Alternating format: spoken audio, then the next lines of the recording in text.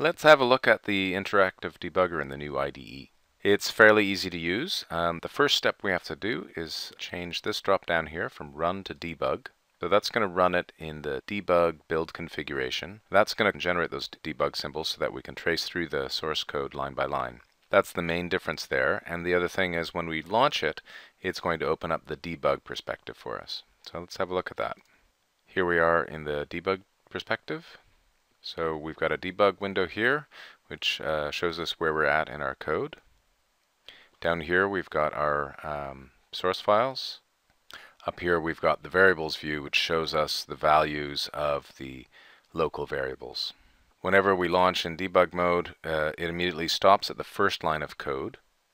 And we've got a number of options here. We can, uh, we can step forward through the code. If we want to um, go into, so that stepped over the uh, constructor for application. Here we've got a constructor for application UI and I can choose to go inside it, to step inside it so that it will follow into that constructor and so we can see what happens inside there. So here I can go through those line by line and see at various points I can inspect uh, the variables. So here I've got i and I can see that its value is 99 at this point in the code. Make a little room for that. Um, we can look at it in different formats and binary and hex and so on. So that's pretty good. If we click um, step return, that will pop out of the current function that we're in and take us to the next line of code uh, after that function returns. If we want, we can stop the application altogether. And there's one more very interesting thing that we can do. Sometimes uh, stepping through your code is going to take you too long to go step by step. So if you want to go um, run until you find a particular line of code. Uh, we can do that by setting a breakpoint. So in here, let's go to that point. Let's say we want to bypass stepping through all of the code above this because it takes a long time and go straight to this point. If I double click in the gutter here, I get a little blue dot and that lets me know that I've got a breakpoint there. The other way we can add a breakpoint is to right click here and click on either toggle breakpoint or add breakpoint. Anyway, let's uh, get rid of that one. So we'll just stop there. Let's run the debug again. Here we are in the debug perspective. Here we are on the first line of code. Uh, click run and it will go until it hits a breakpoint.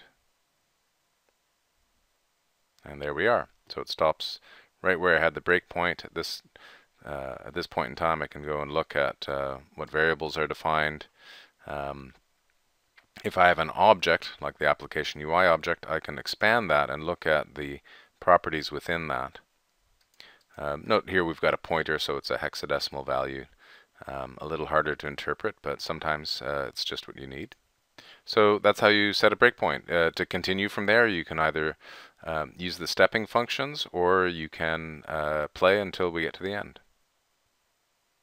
The other thing we can do is we can uh, set breakpoints in our QML code as well.